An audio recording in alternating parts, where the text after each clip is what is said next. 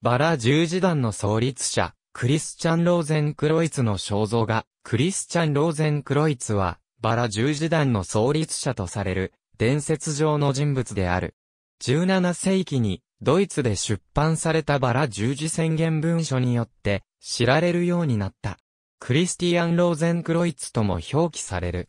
その生涯は1610年頃に書かれ、1614年にドイツのカッセルで出版されたドイツ語の小冊子、友愛団の名声、称賛すべきバラ十字団に語られている。ただし、同書では、同誌、CR や CRC の名で言及されており、クリスチャン・ローゼン・クロイツの名はまだ出てこない。翌年、名声のラテン語版と共に出版された、友愛団の心情告白において、CRC の生誕年が1378年であることが明らかにされた。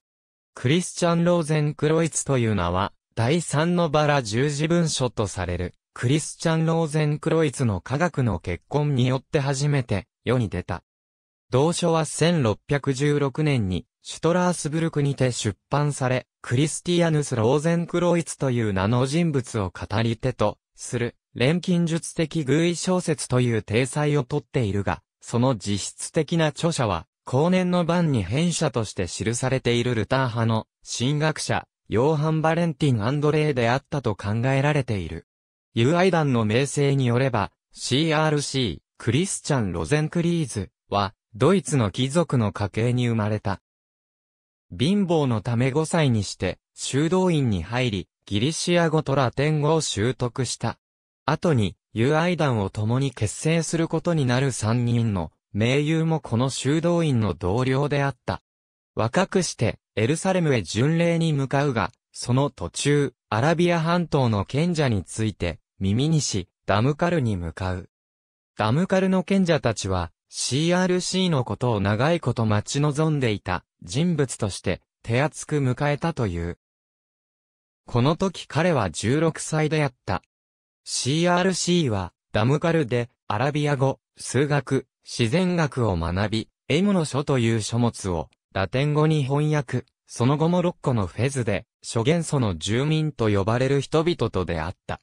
多くの知識を得た後、ドイツに帰国し、3人の盟友と共に、友愛団を結成して、さらに4人の同志を加えた。ある時、一人の会員が彼の秘密の墓に通じる隠し戸を偶然発見した。